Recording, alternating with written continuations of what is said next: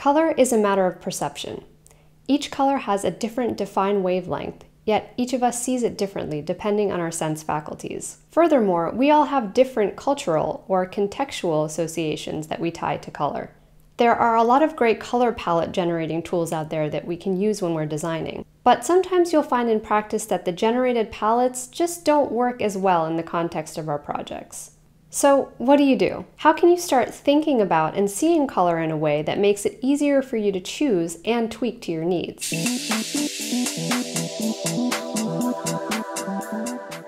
Hi guys, I'm Elizabeth from DesignerUp, helping you level up your product design skills. I've done videos before on color theory and how to choose UI colors, and also how to pick colors for more complicated UI problems. But that's not the only way we can choose colors. And for some of you, this might be the key to understanding it. One of our DesignerUp students was recently struggling with this topic.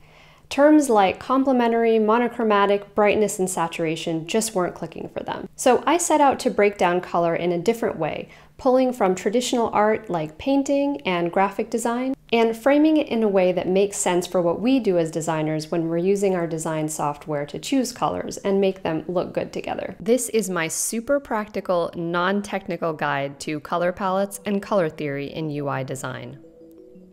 So you followed all of the color harmony and color theory tutorials to a T and generated a complementary color palette. But you notice that the colors don't seem to match very well or don't look great on your UIs. Perhaps they look harsh or are a bit muddy and unprofessional, and you don't really know why. What do you do now?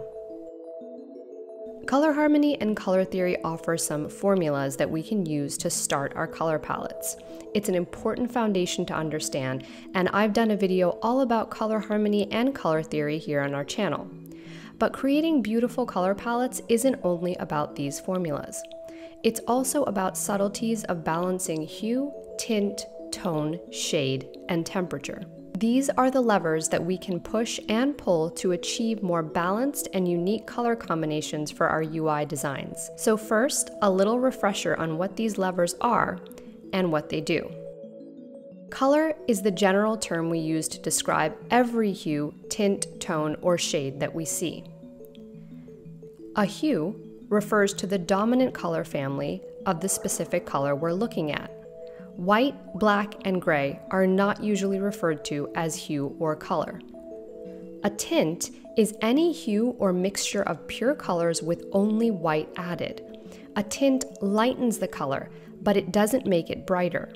Therefore, a tint can range from slightly lighter than your original color all the way to white with barely any of the color mixed in. In our color pickers, this means moving closer to white. Tone is any hue or mixture of pure colors with only gray added, or moving closer to gray in our color pickers. To be precise, the definition considers gray as truly neutral. In other words, there are no pigments in the gray other than white and black. A neutral mixture of gray, no matter how light or dark, will tone down the intensity of any color. Tone colors are generally considered more pleasing to the eye they are complex, subtle, and sophisticated. That's because bright, pure colors are more often associated with children and primary colors. Shade is any pure hue or mixture of pure colors with only black added. In other words, it contains absolutely no white or gray. A shade darkens the color. It remains the same hue, only a darker version of it. Therefore, a shade can range from slightly darker than your original color, all the way to nearly black with barely any of the color mixed in. Done by adding a touch of black to your color or moving your color picker closer to black. Temperature is more about how we perceive the hue that we're seeing. And we tend to divide these into two categories, warm or cool. Warm colors are the colors that come from increasing the red or yellow tones in a hue. These tend to evoke the feelings of passion, coziness, energy, and motion. They remind us of sunlight and heat and are often referred to as active colors. Cool colors are the colors formed from increasing the blues and greens. These tend to invoke freshness, winter, stillness, and calming. They remind us of ice, snow, and water, and tend to be considered passive colors. To start off, it's important to understand what I mean when I refer to adding white, black, or gray. Since we're not working with paint and we're not actually mixing physical colors together when we design UIs, we need to think about this in terms of screens. And for that, we're talking about light and the mixing of that light. To get a little technical, there are three different color models you may have heard of that will help us understand how light and color work together a little better. The first is CMYK, which stands for cyan, magenta, yellow, black. This uses what is called a subtractive mixing of light to derive different colors. RGB stands for red, blue, and green and uses what is called additive mixing of light to derive different colors. And finally, HSB, or sometimes the B is referred to as V for value, stands for hue, saturation, and brightness. This uses a mix of these attributes to derive different colors. CMYK is called subtractive because it refers to the light and the page. Because a page doesn't project light or shine it at us, the page has to reflect light off of it. So when mixing these colors together, you are in effect covering up the white of the page and thus reducing the amount of light that is able to be reflected off of it. Kind of like a kid mixing all of the finger paint colors together and getting black. CMYK color models are mostly used for pages and with printers. When these four colors are mixed together, the overlap results in black. Subtractive means you are removing the white that's there or covering it up on the page. RGB is when red, blue, and green light is mixed together, and the screen shines and projects that light out at us. The overlap of all of these colors at full brightness results in us seeing white, kind of like being blinded by bright floodlights. RGB color model is used for digital screen design. It's like having three bright red, green, and blue lights projecting out at us at full brightness. Turn them all on and you get pure white light. Turn them all off, and you would see blackness. Finally, we have HSB, hue, saturation, and brightness. These values change the purity and density of color, as well as how much light is projected through that color. Most of you might be familiar with this, as it's what we most commonly see in our design apps as UI, UX, and product designers. The HSB color model provides us with a radial of color, or a color wheel, in which we have a range of hues, which are the colors, saturation, which is how much of the color there is, and brightness, how close to white or black on the scale the value is. This is how we actually see color and how our brains work. It's most commonly used by UI and visual screen designers. The hue is represented on a radial 360 degree scale of all colors. The saturation is how dull or rich the color is, and the brightness is whether the color is closer to white or closer to black on the scale. By mixing the hue, or color from the color wheel, with the saturation and the brightness would result in a specific color. So for the purposes of this lesson and choosing colors for our UI designs and in screen work, we are going to be using this color model. Now the computer doesn't know if you're designing for screen or paper, and therefore it must be told by our design apps. By default, design programs like Sketch and Figma might show RGB for screens, but you can easily change this to HSB in your design app. Just keep in mind that if you are changing to CMYK, not all colors are CMYK and RGB reciprocal. As I mentioned, for this video, we're going to focus on the HSB color model for our world of digital UI screen design. So the first thing you'll need to do is switch your color model or color space in your design app. For Sketch, you can find that by clicking on a fill and looking for the drop down that's next to the hex and you should be able to toggle between the different color models. So go ahead and select HSB. In Figma, it's just as easy. Click on the color swatch and click on Hex to toggle between the different color spaces. Just select HSB. There are two large groupings of colors that you often hear about, warm and cool. Warm colors are often considered active colors because they draw more focal attention. Cool colors tend to be considered more passive because they recede a bit. But depending on how rich the colors are and how they are balanced, you could have soft warm colors that play the role of a passive element, while more vivid colors play an active role. In UI design, we talk about visual hierarchy and primary and secondary colors. Both warm and cool colors can act as primary or secondary colors depending on the brand focus. So now that you understand how colors appear on screen and on paper, and all the ways we can adjust them, let's talk about how we can pull and push on these levers in our design software and balance our color schemes and color palettes. But I'm going to talk about it a little bit more like a painter or an artist to help make this all a little less technical and a little more practical and relatable. The trick to getting really great looking color palettes is to stick with one of the following categories or pair one category with neutrals. The best part is you only need to find one color in your palette to make all of the rest match. In order to derive these different color categories, we'll be focusing on pushing and pulling the levers of hue, saturation, and brightness.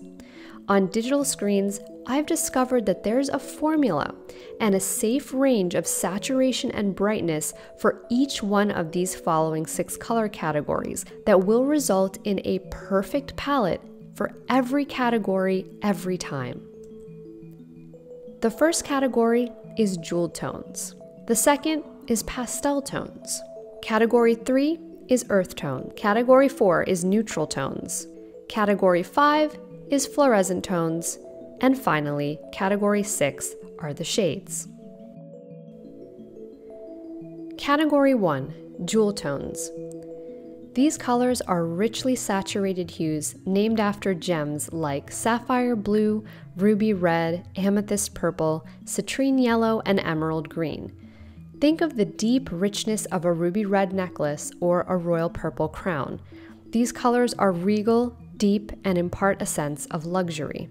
I've discovered that the ideal saturation and brightness for creating jewel tone color palettes lies within a saturation value range between 83 and 73 and a brightness value range between 76 and 56. So let's take a look at what that looks like inside of our design app. So as I mentioned, the ideal range for jewel tones is any hue that has a saturation between 83 and 73 and a brightness value of anywhere between 76 and 56. Let's see how we actually use this formula to create these jewel tone color palettes. First, let's start with a set of black swatches. So here I have six circles that are all black. First thing we're gonna do is take the first two values, the value of the highest saturation and the value of the highest brightness. So for our saturation, we're going to set this value to 83. And then for the brightness, we're going to set it to 76.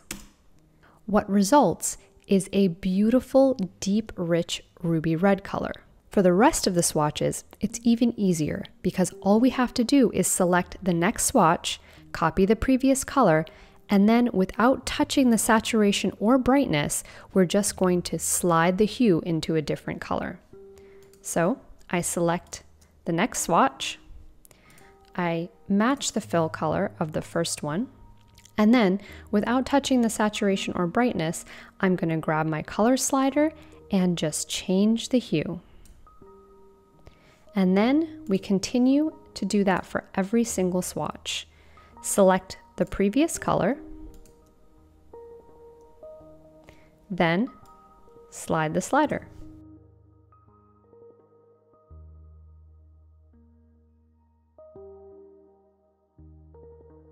And voila, you have a perfectly balanced jewel tone color palette. With this color palette, every single one of these colors has a saturation of 83 and a brightness of 76. The only thing that's changed is the hue or the color. So again, we have a safe range in which we can have varying tones and tints of our jewel tones. So let's try the other end of the saturation and brightness values. Starting with the first one, we're going to make our saturation 73. And then we're going to make the brightness 56. So you can see that this results in a darker version of the colors that we have in the previous palette. And then we follow the same technique of selecting the next swatch, copying the color from the previous swatch, and then without touching the saturation or brightness, just dragging the hue slider over. And then continue doing that for the rest.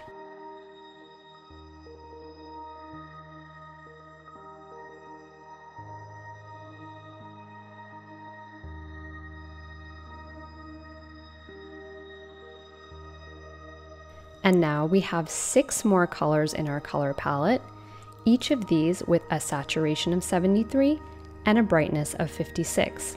And again, the only thing that we've changed is the hue. So within this range, you have the ability to choose other saturation and brightness values. With this color palette, I'm somewhere in between the safe range of the saturation and brightness levels. Each one of these swatches has a saturation of 79 and a brightness value of 74. And we know that we're still in the jewel tone range because 79 is in between 83 and 73, and the brightness of 74 is still within the range of 76 to 56. So, as long as you keep your saturation and brightness within these ranges, and you only change the hue slider, you will still end up with a beautiful color palette that is jewel toned. This technique can be applied to every single one of the color categories. So if you're interested in seeing these and more color formulas and color palettes, you should definitely come and have a look at our product design master course where I dive even deeper into color harmony, color theory, and color formulas. So the next category is pastel tones.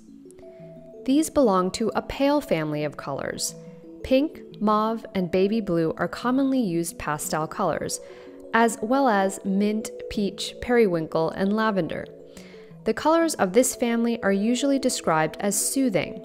We create these colors by reducing the saturation and adjusting the tint, or dragging our color pickers into the white area. The ideal saturation range for pastel tones is between 14 and 21 and the brightness range between 89 and 96. Category 3 is earth tones. These are colors commonly found in nature. Many earth tones originate from clay pigments like umber, ochre, and sienna. They can be created by combining a pure hue with white, black, or gray. These are considered, in the more broad sense, neutral colors, they are influenced by the tones of trees, forests, seas, and sky, and are muted and flat to emulate natural colors. We create earth tones by increasing saturation and adjusting the tone or dragging our color pickers into gray. The ideal saturation and brightness range for creating earth tones is a saturation between 36 and 46 and a brightness between 77 and 36. Category 4 Neutral tones. Pure neutral tones include black, white, beige, and all grays, while near neutral tones include browns, tans, and darker colors. These are created by desaturating our colors. They pair well with any of the other categories of colors to create balance.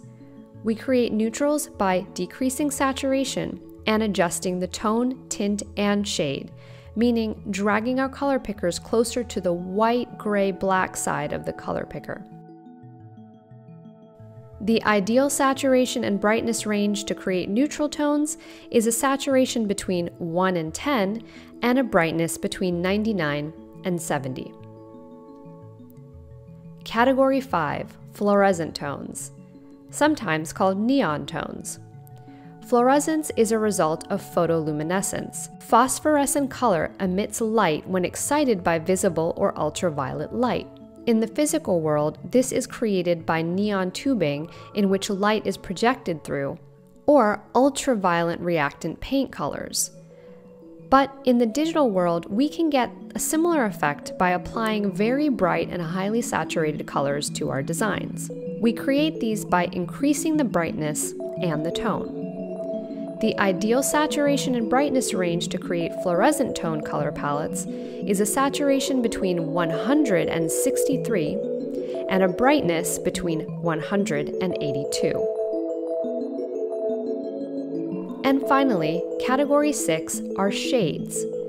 The two main shades are black and white, which are not normally considered colors, but rather the absence of light or dark, or the addition of pure shade or pure tint. Other shades include all varying degrees of gray. The ideal saturation and brightness range to create shades are a saturation between 0 and 0 and a brightness between 0 and 100. Combining color categories. You can also combine these different color categories, such as pastel plus earth tones, or jewel plus pastel tones. The best user interface designs use a combination of one of the main color categories along with neutrals and shades. Shades plus pastels are commonly used. Neutrals and earth tones are seen a lot. And fluorescence and shades, whether on dark design or light design, are very common. So, why don't we talk about color like this? Well, as digital designers, we tend to avoid these categorizations of color schemes because the lingo seems more reserved for painters, print designers, and interior designers. Because what we're talking about here is a mixing of physical colors. But on a practical level, I've found that referring to color in this way can be extremely relatable and useful in UI and digital screen design as well, especially when we're still learning color theory and getting our eyes accustomed to selecting colors that go well together. It's not an exact science, but you can see how thinking about color in this way and having some levers and numbers to guide you can help you create more pleasant and refined palettes without all of the guesswork. I like talking about color this way because it makes color theory and color harmony more relatable. Just because something's done the way it always has been doesn't make it right or better. It's important to understand the foundations and principles of color theory and color harmony. But when it comes down to practical application, referencing different disciplines and finding a good analogy that works for us can make a big difference. What matters most as UI, UX, and product designers is that we're able to use color effectively to get our message across and create the best user experience possible, no matter how we go about getting there. So, what do you think of that technique? Do you think that you'll be able to use it to produce some cool color palettes? Let me know in the comments. And if you like this and want to keep watching, don't forget to take a second to subscribe and click that bell icon. And if you have any more questions about colors, let me know and I'll be glad to answer them. Thanks again. See you soon.